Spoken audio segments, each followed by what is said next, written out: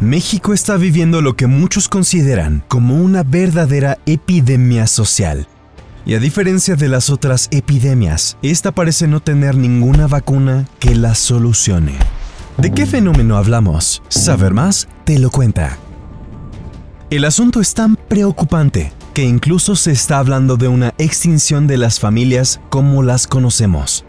Según datos oficiales, en los últimos 20 años se ha visto una disminución muy significativa en la cantidad de parejas que contraen matrimonio. Si en 2004 se llegó al récord anual de bodas en México, con más de 600.000, en 2022 la cifra bajó a poco más de 500.000 uniones ante la ley. Y a pesar de que esta no es precisamente la epidemia social de la que estamos hablando y que veremos a continuación, es inquietante que los mexicanos estén casándose cada vez menos.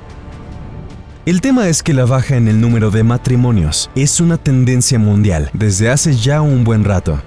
Una investigación señaló que el 89% de la población del mundo vive en países cuyas tasas de matrimonio están en descenso.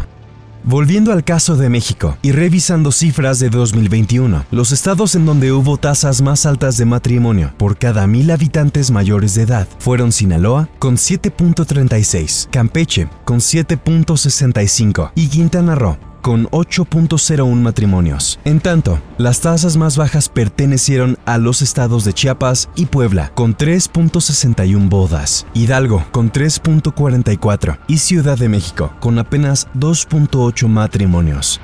Pero como dijimos, la epidemia social de los mexicanos no pasa por la baja en las bodas, sino que por otro factor aún más preocupante. ¿Quieres saber más? No solo los mexicanos están casando menos que antes, sino que también están divorciándose cada vez más, en un número que ha ido aumentando sostenidamente con el tiempo. Si en 2003 se registraron poco más de 64 mil divorcios en el país, en 2022 esa cifra alcanzó casi 167 mil anulaciones de matrimonio.